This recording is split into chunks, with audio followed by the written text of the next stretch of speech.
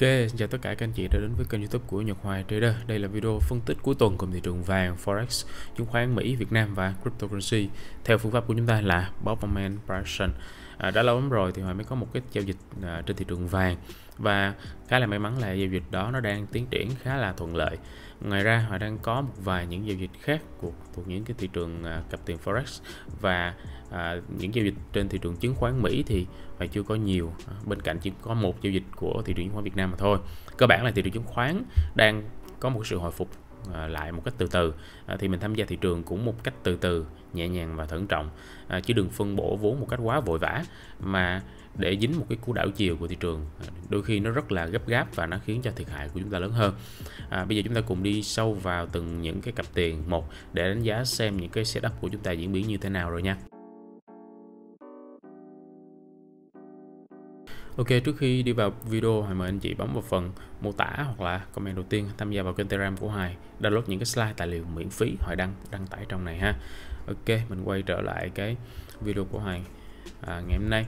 Thì bây giờ với thị trường vàng, cái kế hoạch của Hoài đã đề ra trong cái tuần vừa rồi rất là rất là rõ ràng rồi anh chị ha. Hoài chờ đơn giản là Hoài chờ một cái một vài những thanh nến phá vỡ lên, phá vỡ lên khỏi cái đường biên ngang này thì họ sẽ thực hiện giao dịch giao dịch mua à, họ gọi đây là thiết lập SB bởi vì sao bởi vì chúng ta đã có trên cái chặng đường mà giá nó kéo ngược xuống như thế này chị để cái sóng kéo ngược này à. chúng ta đã có một lần giá nó đã phá lên phá lên ngay tại vị trí này. À, thanh nến này là cái thanh nến mà nó có cái đuôi nó phá lên trên đỉnh của của nến liền trước nó. Như vậy đây là chúng ta gọi đây là cái cú phá vỡ đầu tiên trên cái con đường mà giá nó điều chỉnh xuống. À, thì bây giờ cú phá vỡ đầu tiên này anh chị thấy nó thất bại đúng không ạ? Bằng cách là nó rớt xuống cái đáy của nến trước. À, cho thấy đây là cú phá vỡ đã thất bại. Thì cái việc mà giá phá vỡ thất bại sau cái cú phá vỡ đầu tiên đó là chuyện bình thường à, và thực ra mà nói phần lớn những cú phá, phá vỡ đầu tiên đều sẽ thất bại. Đặc biệt là với một cái xu hướng mà nó đã kéo dài rất là lâu à, như là của thị trường vàng. Nó kéo dài lâu rồi. Còn với đặc biệt với những cái xu hướng mới bắt đầu á, ví dụ nó mới khởi đầu như thế này và nó kéo ngược xuống ha kéo ngược xuống và nó phá vỡ thêm lần đầu tiên á thì ngay tại cái lần đầu tiên này khả năng thành công của nó mới cao bởi vì cái xu hướng đó là chỉ là mới được hình thành thôi. Còn với những cái xu hướng mà đã được hình thành từ lâu rồi thì chúng ta phải cần nhiều cái sự tích lũy hơn. À, và đặc biệt ở đây là chúng ta cần có một lần cú phá vỡ thứ hai. Ở đây chúng ta thấy có một lần giá nó phá thêm một lần nữa. À, phá đáy phá đỉnh đến liền trước và đồng thời phá đỉnh của một cái cụm nến quanh quanh đây luôn. À, thì anh chị nhìn vào khung thời gian thấp anh chị sẽ thấy đây là một cái khối hành vi giá nhỏ. Thì ở đây chúng ta gọi cái cú phá vỡ SB nó cũng tương đồng như là một cái cú phá vỡ khối hành vi giá nhỏ như vậy. Thì cơ bản đây cũng là một cái điểm vào lệnh của chúng ta và khi chúng ta entry tại đây dừng lỗi chúng ta đặt ngay dưới cái cái cụm nến. Hiện tại chúng ta thấy à, Hòa đang có một cái khoảng lợi nhuận mở một chút xíu khoảng chừng 0,5 r và stop loss của Hòa đã dời lên trên ngay vị trí mới này. Thì như vậy đã hóa giải một phần hai cái rủi ro rồi. À, nếu giả sử thị trường đảo chiều xuống ha, giảm xuống và cán cái stop loss của hòa thì ở đây hòa thoát lệnh với 0,5 r thua lỗ mà thôi. À, thiệt hại nó nhỏ hơn nhiều so với cái 1 r full ban ban đầu. Ok đó chính là thị trường vàng. Cơ bản là cái giao dịch nó cũng khá là tốt diễn biến cái khối vở ban đầu như vậy rất là tốt rồi anh chị. À, bây giờ mình nói tới cái à, cặp tiền A ACD ha. Đây là cặp tiền mà đã có cái cú phá vỡ vùng phạm vi ngay tại vị trí này mà họ không thực hiện giao dịch tại đây. Đơn giản là vì cái đoạn nén nó chưa đủ chặt chẽ. Mặc dù nó cũng có một chút nén anh chị. Đây đây chính là cái đoạn build up hay còn gọi là cái đoạn nén của nó nè. Nhưng nó vẫn chưa đủ chặt chẽ và họ mong chờ cái đoạn nén nó phải dày hơn. Ví dụ nhiều thanh nến xung quanh nè. Đó thì bây giờ nó phá vỡ lên cái đoạn nén nó dày đặc như vậy thì nó mới có khả năng thành công cao hơn. Ở đây anh chị thấy nó chưa tích lũy được bao nhiêu cả mà nó mà nó đã phá lên rồi. Thì thường những cú phá vỡ sớm như thế này đặc biệt là khi đường EMA nó còn cách xa một khoảng so với giá thì nó sẽ dễ khiến cho giá à, nó quay trở lại hơn quay trở lại rớt xuống trở lại bên dưới cái cái đường biên thì khi mà giá quay trở lại như vậy cái stop loss của chúng ta đang rất là dễ bị đe dọa và thường là họ sẽ thoát lệnh sớm để ngăn chặn những cái thiệt hại lớn hơn.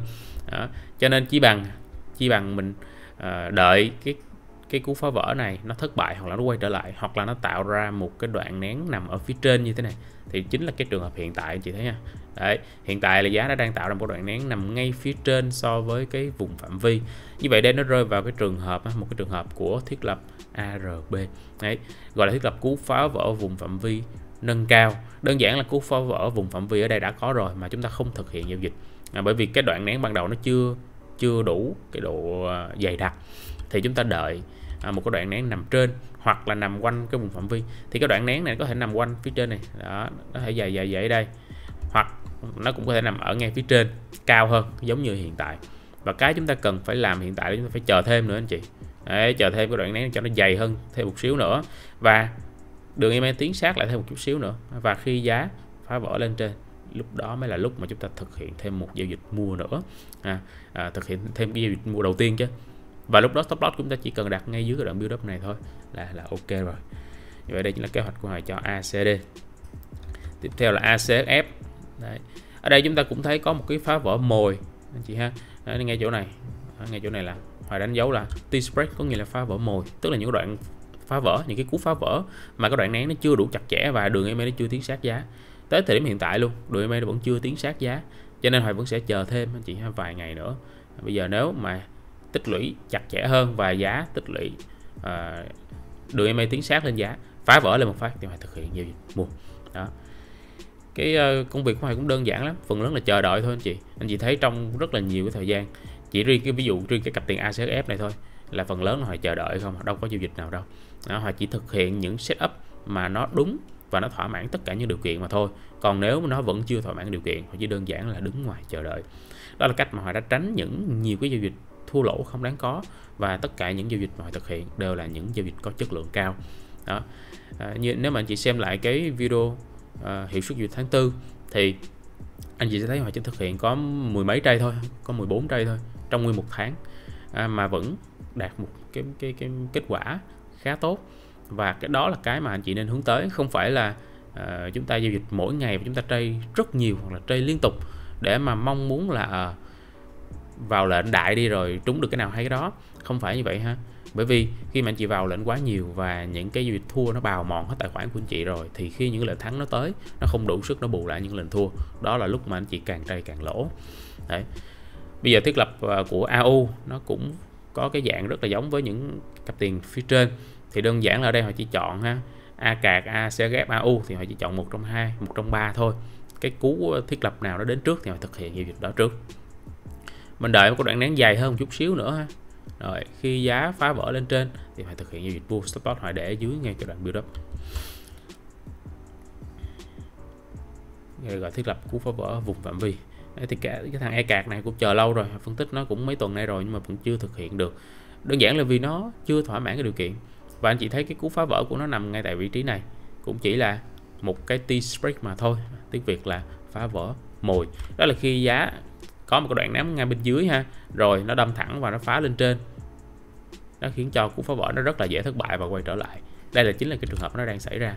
Và anh chị hình dung nếu có đoạn nén bên dưới này mà nó nằm sát so với bên trên đi ha. Đấy, nó không có chừa lại khoảng trống nào hết. Đưa máy tiến sát lên luôn thì cú phá vỡ này sẽ rất dễ thành công. Đấy đó là lý do mà hãy luôn chờ những cái đoạn nén nó nằm tiến sát so với đường biên và không chừa lại cái khoảng trống nào hết.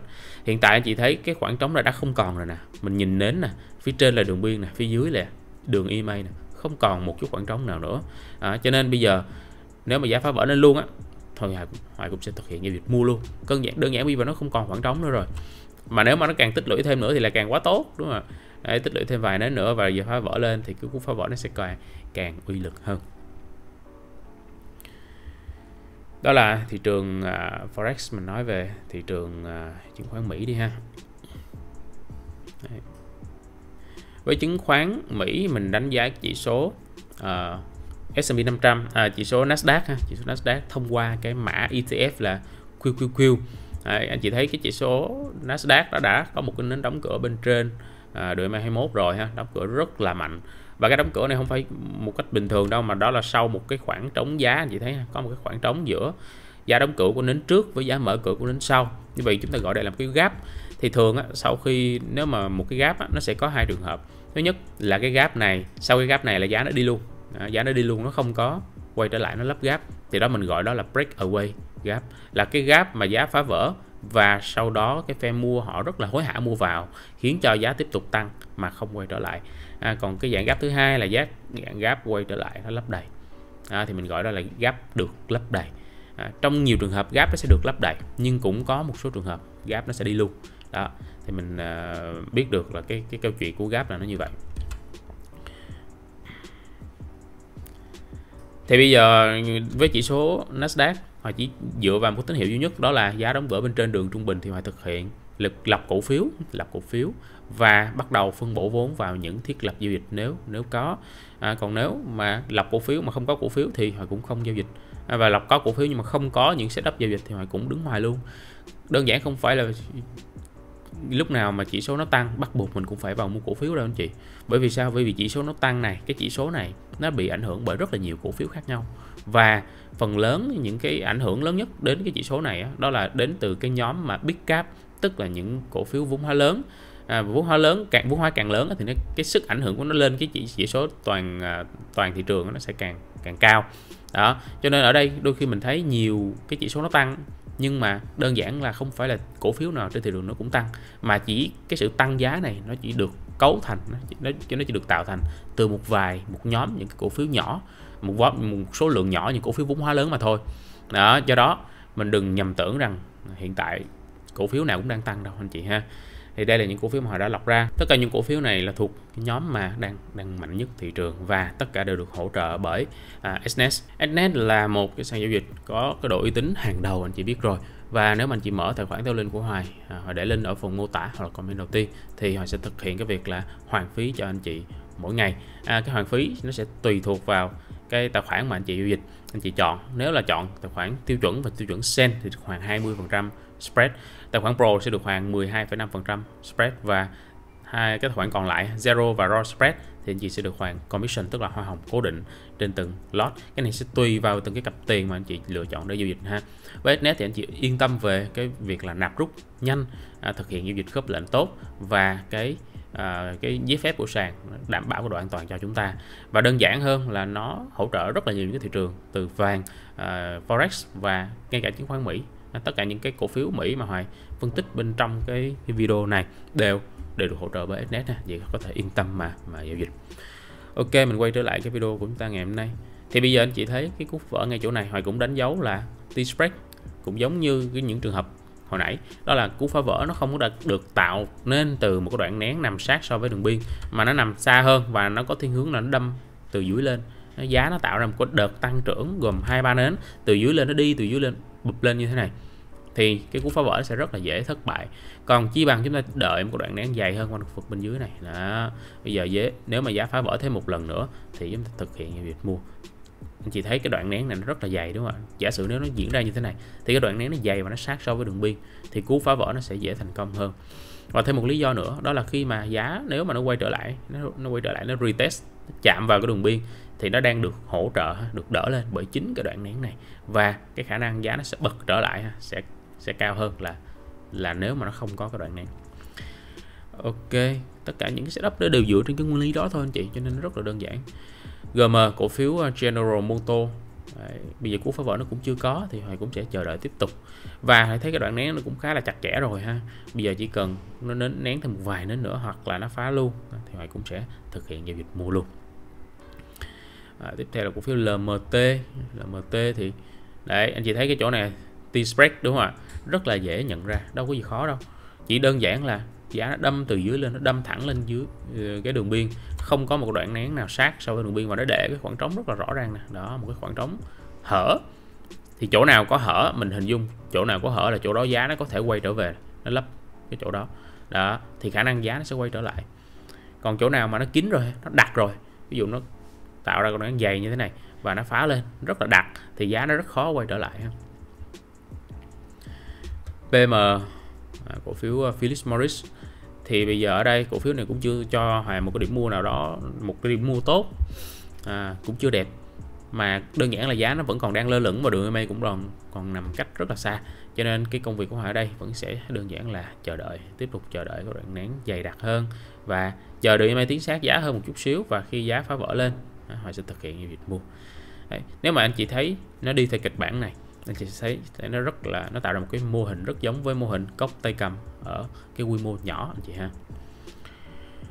Ok tiếp theo là cái hàng à, 3M cổ phiếu MMM cổ phiếu này cái cú phá vỡ mà đáng tin cậy à, rõ ràng nhất của nó là nó diễn ra vào ngay ngay tại thanh nến này.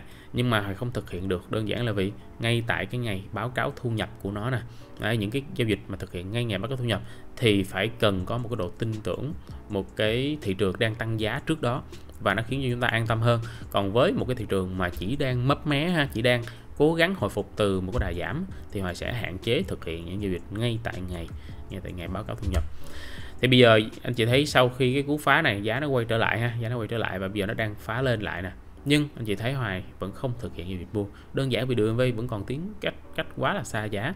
Nếu mà anh chị mở lên cái à, đường EMA 10 á à, chúng ta sẽ thấy à nó chạm cái đường EMA 10 và nó bật lên rồi. À, nhưng đặc biệt với một cái thị trường mà đang hồi phục. Đặc biệt phải nhấn mạnh cái việc đó là với một thị trường chỉ đang hồi phục sau một đợt giảm thì những giao dịch của chúng ta cần phải thận trọng hơn. À, ở đây thì họ sẽ tin tưởng đường EMA 21 hơn. Và như vậy thì họ sẽ chờ một cái đoạn nén bên dưới. Nếu mà giá tích lũy thêm và tạo ra cái cú phá vỡ thì họ sẽ thực hiện giao dịch mua khi giá phá lên. Cổ phiếu à, Pepsi thì nó cũng giống giống như cái thằng à, Philip Morris nè PM mình sẽ chờ có cái đoạn nén dài hơn một chút xíu. Chờ một chút xíu. Đấy và phá vỡ lên thì chúng ta thực hiện việc mua với đường MA tiến sát lên. Chờ đợi chưa bao giờ là sai anh chị ha. Nhưng cái việc mà chờ đợi quá nhiều khi mà setup nó đã có rồi, nó đã phá vỡ lên rồi, thỏa mãn hết rồi mà mình vẫn chưa vào lệnh thì cái đó mới là sai. Còn bây giờ chưa có điểm mua gì cả, giá nó vẫn còn đang lình kình và đường MA còn tăng rất là xa giá. Apple này. Đấy gần đây Apple nó mới có một cái sự kiện mà cũng khá là nhàm chán không có gì mới cả. À, thì thời gian vừa qua mình thấy một cái đà sụt giảm rất là nặng nề của cổ phiếu Apple giảm 17 17,61% đặc biệt là mình biết là cổ phiếu nó đã tăng rất là mạnh từ đầu năm 2023 à, nhưng mà thời gian vừa qua những tháng vừa qua từ 24 2024 đến hiện tại thì Apple nó thuộc nhóm cổ phiếu yếu. Bởi vì từ 2024 tới à, uh, 3 tháng đầu năm 2024 á, là thường á, là, là, là thời gian vừa qua chúng ta thấy có đà tăng trưởng rất mạnh đúng không cái đà giảm nó chỉ mới gần đây thôi. Nhưng mà ở đây ờ, Apple nó thuộc cái nhóm cổ phiếu giảm nhưng mà hiện tại nó đang hồi phục trở lại nè. Anh chị thấy nó đang tạo ra một cái đáy ha. Nó đang cố gắng tạo ra một cái đáy nè. Đấy. Cái đáy. Và sau khi giá phá vỡ lên khỏi một cái vùng phạm vi nhỏ nằm quanh khu vực này rồi thì nó đang cố gắng tạo ra một đoạn nén tích lũy để tạo ra những cú phá mạnh phá vỡ mạnh hơn trong tương lai. Và dĩ nhiên hiện tại chúng ta vẫn chưa mua rồi chúng ta sẽ chờ cái đoạn nén dài hơn nữa nghĩa là sẽ chờ lâu đó ít nhất là phải chờ hai tuần nữa, chứ không phải đơn giản là mình giao dịch được trong ngay tuần sau đâu. Vì đường MA còn tách cách quá xa và họ sẽ không muốn giao dịch khi giá nó nằm cách xa đường trung bình như thế này. Bây giờ đơn giản mình chờ đường MA tiến sát lại giá hơn ha, và cái cú phá vỡ này, cú nén này chặt hơn, rồi nó phá lên, thì chúng ta sẽ thực hiện giao dịch mua. Đó là cổ phiếu Mỹ, mình nói về cổ phiếu Việt Nam. Cổ phiếu Việt Nam thì gần đây họ chỉ có một giao dịch duy nhất thôi. Đơn giản là chưa có cái cổ phiếu này nó thỏa mãn cái điều kiện và nó phá lên hết thì chúng ta cứ tiếp tục chúng ta đứng ngoài. Chúng ta có một cái tín hiệu uh, bắt đầu phân bổ vốn vào thị trường vào vào cái ngày uh, ngày bao nhiêu ngày thứ hai đúng không ạ? Ngày thứ hai tuần này à, rất là sớm. Thì uh, ngay sau khi hồi cái video lên phân tích thì ngày thứ hai nó đã phá vỡ lên trên luôn. Và anh chị thấy nó rất là giống với cổ cổ phiếu Mỹ ha. Phiếu Mỹ hiện tại đang đang hồi phục. Thì giờ đây là tín hiệu để mình bắt đầu mình lọc cổ phiếu và mình giao dịch à, một trong những thằng mà họ tìm được đó là QCG QCG anh chị thấy nó đang tạo ra một cốc tay cầm chưa? Đấy mình cốc tay cầm nè. Đó có dạng là có dạng hình một cốc tay cầm ha. Nhưng đứa mới còn sát à, cách xa giá quá cho nên cái cốc tay cầm này nghĩ là cần phải nén thêm tích lũy thêm. Bây giờ nếu mà giá phá vỡ lên chúng ta sẽ thực hiện giao dịch mua. Nhớ là phải đợi thêm ha bây giờ chưa chưa mua được. NTL đây là cổ phiếu mà thực hiện giao dịch rồi anh chị thấy cái đoạn nén nó nằm sát đó, rất nặng nằm rất là sát so với đường biên của cái hộp. Và đợi máy tiến sát lên. Không có lý do gì chúng ta không thực hiện giao dịch mua khi giá phá vỡ lên tại vị trí này cả. Và hiện tại đang có khoảng à, đang có một mức lợi nhuận là 2,3 r. 2,3 r và stop loss họ đã dời lên trên đến hòa vốn rồi. Như vậy đây là một giao dịch đã phi rủi ro anh chị ha. Tức là họ đã không thua nữa. Đơn giản bây giờ họ thực hiện cái việc đó là khi nào cổ phiếu tăng nhiều hơn họ sẽ thực hiện bán một nửa và gồng một nửa còn lại thôi. RPB cái cú à, cái con sóng hồi của nó cũng cũng khá là đẹp khá là nhẹ nhàng thì cũng đang gần hoàn tất rồi. Bây giờ mình chờ nó tích lũy thêm một chút nữa. Và tốt hơn là chạm vào đuổi mây luôn. Thì lúc đó chúng ta sẽ tìm những setup như là uh, cú phá vỡ đôi gì đôi cú vỡ thứ hai. Hoặc là một cái block break nằm quanh khu vực này một cái block quanh khu vực này. Rồi khi giá phá vỡ lên chúng ta sẽ thực hiện giao dịch mua VPI này, mình thấy có một cái block này nè. Giá vượt lên trên đường EMA đang cố gắng thiết lập một cái uptrend mới và một cái block đang dần hình thành. Theo cách gọi của Nicholas Davas thì đây gọi là một chiếc hộp Davas đó. Bây giờ mình chờ cái cái cú ờ, đoạn nén tích lũy dày hơn và nếu mà giá phá vỡ lên chiếc hộp Davas chúng ta sẽ thực hiện việc mua. Stop loss mình đặt ngay dưới cái đoạn build up. Theo cách uh, theo cái cách vào lệnh của Nicolas Davas thì ông sẽ đặt cái stop loss bên dưới chiếc hộp luôn. Nhưng với Hoài thì Hoài thấy cái đặt stop loss như vậy nó hơi xa thì Hoài sẽ thực hiện đặt ngay dưới cái đoạn build up thôi. Vì khi vì khi mà stop loss của mình chặt hơn á, ngắn hơn á, thì mình sẽ được phép vào với khối lượng cổ phiếu lớn hơn nhiều và nó tạo cho chúng ta lợi thế. VC3 VC3 thì cũng đang cố gắng tạo ra một cái block một cái tín hiệu nó ờ, cái cái hành vi giá nó cũng không được đẹp lắm. Vì giá hiện tại nó đang rớt xuống khỏi đường EMA rồi nhưng ờ, nếu mà thị trường chứng khoán Việt Nam đang có cái sự hồi phục trong thời gian tới thì mình hoàn toàn có thể kỳ vọng giá vượt lên trên vượt lên trên đường EMA à, cố gắng tạo ra một đoạn nén tích lũy dày sát đường biên và khi giá phá vỡ chúng ta sẽ có thể mua được Ok, như vậy đó là thị trường chứng khoán Việt Nam mình nói về thị, thị trường ờ, crypto anh chị ha. Crypto thì hiện tại chán rồi ha, rất là buồn chán. Đơn giản vì Bitcoin không tăng anh chị ạ. Bitcoin dĩ nhiên sau một cái đoạn một cái giai đoạn tăng kéo dài cũng lâu, cái dài cũng hơn một à, đấy hơn một tháng. Từ tháng 2 cho tới tháng 3 thì bây giờ nó bước vào một giai đoạn tích lũy. Và cái đoạn tích lũy này là từ giữa tháng 3 hiện tại là cũng giữa tháng 5 rồi cũng là tích lũy 2 tháng rồi. Đó cho nên khi mà thị trường rơi vào giai đoạn tích lũy thì chúng ta sẽ đâm à, đâm ra là sinh ra cái tâm lý buồn chán.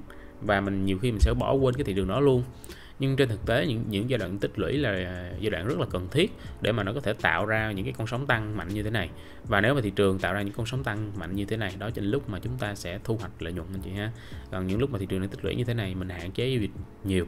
Vì anh chị mà để rớt tiền trong những giai đoạn tích lũy, thì khi mà con sóng tăng nó quay trở lại mình sẽ không còn tiền nữa để mình để mình giao dịch thì bây giờ cái uh, cái hướng của Bitcoin hiện tại nó đang thiên về hướng giảm nhiều hơn. Đơn giản là vì đã có một cú phá vỡ mồi xuống dưới ha xuống biên dưới của cái vùng phạm vi này. Và hiện tại giá đang tạo ra một đoạn nén ép xuống đường biên dưới của vùng phạm vi. À, bây giờ theo lý thuyết nếu mà giá tạo ra một đoạn tích lũy dày hơn và phá vỡ xuống chúng ta hoàn toàn có thể thực hiện giao dịch bán. À, bởi vì giá nó nằm rớt xuống đường MA đường MA đang giúp xuống tạo ra một đoạn nén ép xuống đường biên dưới thì phá vỡ xuống thì không có lý do gì chúng ta chúng ta không không bán cả. Thì đó là cái kế hoạch kế hoạch. Nhưng trong thâm tâm họ vẫn muốn là cái Bitcoin nó hồi phục hơn hồi phục nó quay trở lại và tạo ra những con sóng tăng mới. À, nhưng mà không sao bây giờ nếu mà thị trường tạo ra rồi nếu mà phá vỡ xuống thì họ vẫn sẽ thực hiện giao dịch bán thôi. Binance Coin thì lại có một cái kịch bản tốt hơn một chút. À, đơn giản là vì giá vẫn còn giữ được phía trên đường trung bình. Và ngược lại hẳn với Bitcoin nó đang tạo ra đoạn nén với đường biên trên. Anh chị thấy ha đấy bây giờ cần đoạn nó phải cần sát lên đường biên trên mới được anh chị ha. Và bây giờ nếu mà phá vỡ lên đó, sau khoảng một tuần hai tuần nữa nếu mà giá phá vỡ lên theo cái kịch bản này chúng ta hoàn toàn có thể mua được. Nhưng dĩ nhiên khi mà chúng ta giao dịch mua à, Binance Coin thì bắt buộc mình phải quan sát xem Bitcoin là, là nó đang có thiên hướng tăng hay giảm. Với một cái bối cảnh giảm của Bitcoin thì những giao dịch mua những đồng coin khác thực ra nó không có xác suất cao chút nào. Ok trên đây là Hoài nói về thị trường, tất cả những thị trường mà Hoài giao dịch trong trong tuần qua. Nếu chị thấy video này hay, để lại cho Hoài một comment, tôi quan tâm một like cho video, bởi vì YouTube họ đề xuất những video có nhiều like nhé cảm ơn chị rất là nhiều. Đừng quên tham gia vào kênh Telegram, Hoài để link phần mô tả. Comment đầu tiên. Cảm ơn chị xem video của Nhật Hoài. Xin chào và hẹn gặp lại.